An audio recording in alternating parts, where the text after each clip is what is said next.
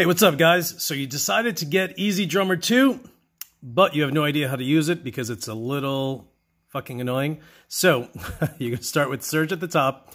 You're then going to click on tap to find. Okay, let's go here. So we're going to do tap to find. We're going to make this 1 16th. And you get to pick what you want to play with. So uh, closed hi-hat. Let's do... Um,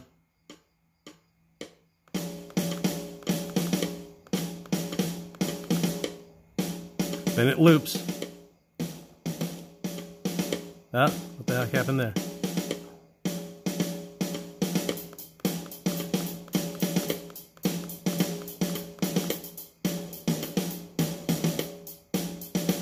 Okay, so I did the hi-hat, let's do the, the bass now.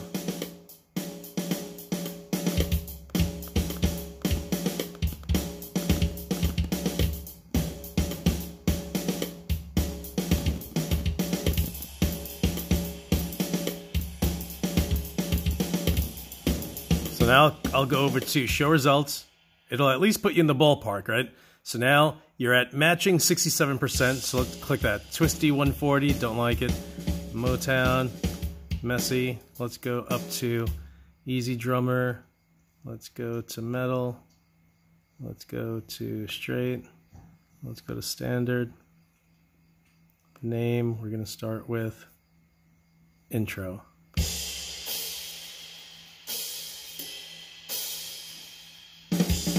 No, don't like that one. Okay, let's start with that intro, right? So I'm going to pull that over. Okay, let's stop that. Let's, uh, you know, at the very least, all you want to do is just have something that you like. Find, you know, find anything that you're just like, okay, you can play around with. Okay that, see, like that sounds crazy, that end, but just know that you can always and this is what I always do. I always grab the end and I just bring it back in. I just cut it out. Anything like that, like the crazy. All right, so I'm to stretch that out a little bit. Let's start again.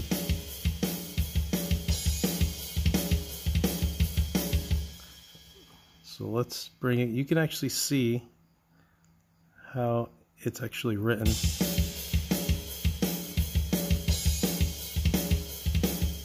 All right, so we're going to take that, right click copy, right click paste all, put that one right there. So let's go.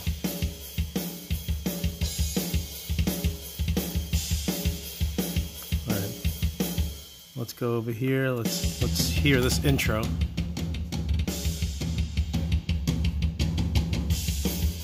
Okay. Okay, well let's stretch that one out because that that's a little off there. Ah.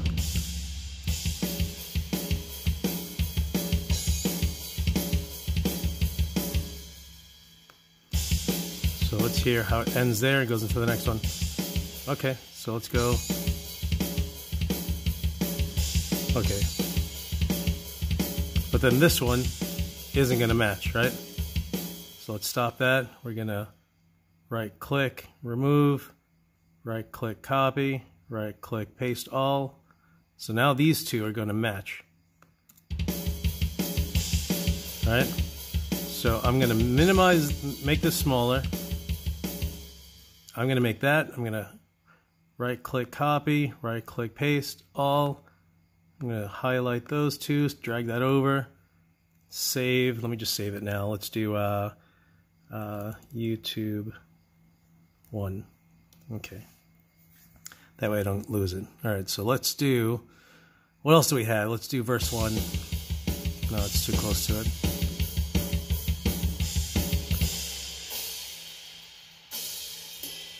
Bridge. Oh, what is that? All right, so let's let's play this one. All right, listen to the beat. Let's take this bridge and slide that over here and let's see what that sounds like.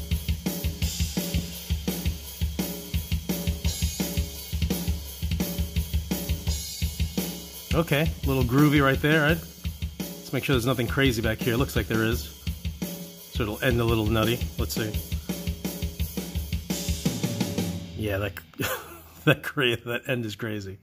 All right, so let's stop there. I'm to click there so I can zoom in and try to catch where that craziness comes starts.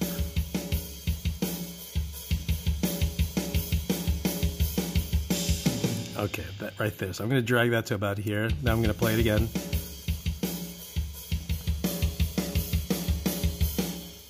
Okay, so now I'm going to grab this, right click copy, right click paste all, so the cymbals and everything goes right in. So let's go from here. Let's see how it goes from one to the next. Okay, it's not bad. Good. So then, just for the heck of it, I'm actually going to highlight all this. Right click copy, right click paste, and then all. Then I'm going to highlight all this, drag that over, minimize it because I want to see what it looks like. Let's go back here. Let's do one run intro, right?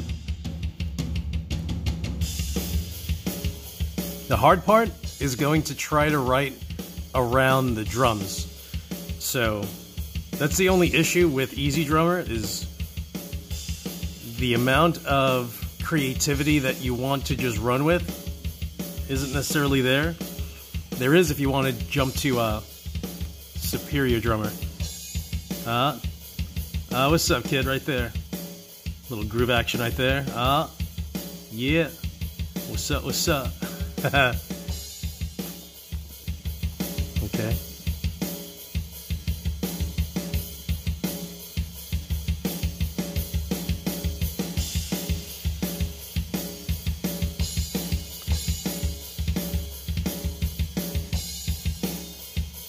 Okay, so let's do, let's save it again.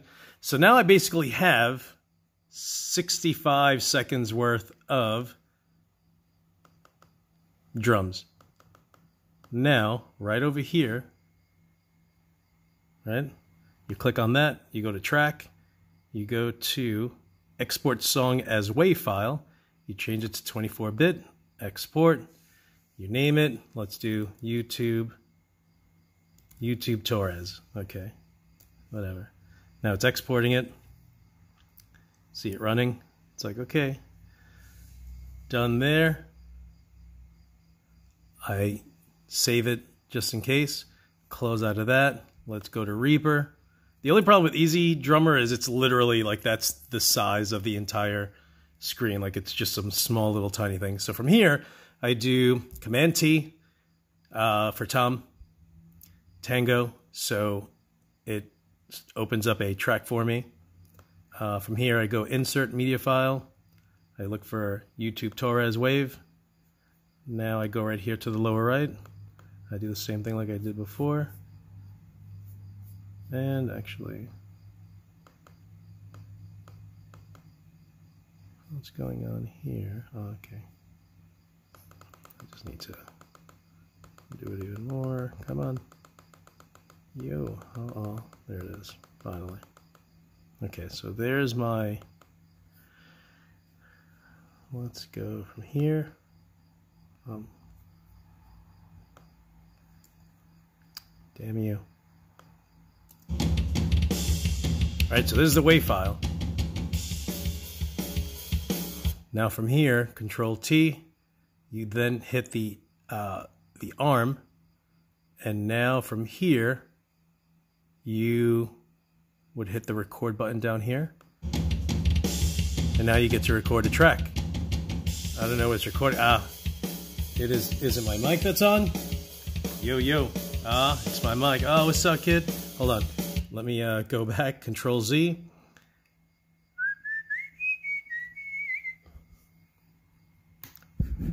Hello? Hello? All right, so let's see. let's go. Let's crank it. Okay, that way I don't doesn't look like there's any clipping. So, hello. And as long as that's going up, we're good. So let's go. I'm gonna sing a song for you guys. Hello. Uh, hello, hello.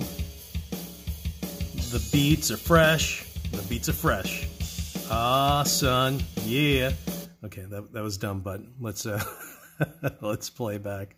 I'm gonna disarm it and play back. Hello, uh, hello, hello. The beats are fresh. The beats are fresh. Ah, son, yeah. All right, so clearly you would go ahead and that would be guitars, and then you would just, you know. Uh, Command T, you know, create a bunch of tracks and activate each one. You can activate that one, activate this one. You have, um, you can pan, this, it, they're all automatically set to pan center. You can click and go to the right, and it's 100% right, 100% left, centered. Uh, here's your volume. So you can go up, um, up and down dBs. You can pick input one, you want it stereo, mono. So it's super easy going from EZdrummer 2 over to Reaper, but there's that learning curve of trying to figure out how to do it. Like I literally, if you follow all the steps that I just did, you'll be able to not only create your own drum track, but you'll be able to go ahead and sing on your second track just like I did. And, you know, uh, what you definitely want to do is learn how to play and play around with with EZdrummer. And the whole thing with EZdrummer is here's a drum track. Just know that the end here sometimes sucks because you know you'll have 80% of it which is perfect and then whoever the drummer was decided to it's like really dude like come on bro like just create like a four bar fucking normal normal drummer god damn it it's the only problem with EZdrummer is that you have all these drummers and they're all like ah son you want you want me to do one of these no stupid how about just fucking normal like, you know, hi hat, snare, bass without a stupid roll because I then have to shave that roll off and try to figure out how to match it to the beginning of the next one because I'm going to copy and paste that same drum pattern on the back end. That's just for you guys at EZdrummer, which I forgot the name of the company. So when you hire a bunch of drummers that you record, you know, some of them are just fucking dumb. All right, listen, everyone, thumbs up. If you haven't subscribed, subscribe right there. Click on it. Click on it. Don't make me punch you in the throat. All right, guys, listen. Thank you so much for watching. Hopefully, this helped. Yo, le legit, this took me months and months of being frustrated. Like, yo, I would work on Dr Drummer for an hour, get frustrated, turn it off. So I never managed to figure out how to go from EZdrummer to Reaper. And then finally, when I figured out EZdrummer, I'm like, okay, I need to figure out how to export it to Reaper. So I had to have that learning curve on saving it as a WAV file and then bringing it into Reaper and how to open it up. And yo, there's so much nonsense. Um, but I feel like you guys need you know, like this is the video, this video that I'm making now is the video that I needed when I started. Like, yo, how do I make a drum track? How do I write the drums? How do I save it as a WAV file? Then ex, then what do I do? How do I export it into Reaper? Do I open Reaper and then import it? So, so it turns out that you just save it as a WAV file. You open up Reaper and then you in you uh, insert slash import uh, the drum track in here, and that's it. Hopefully that helps, and you'll be able to write music going forward on your laptop. All right, everyone, listen, you guys are the absolute best. Thank you so much for watching. Again, subscribe if you haven't. And as usual, I'll talk to you guys soon.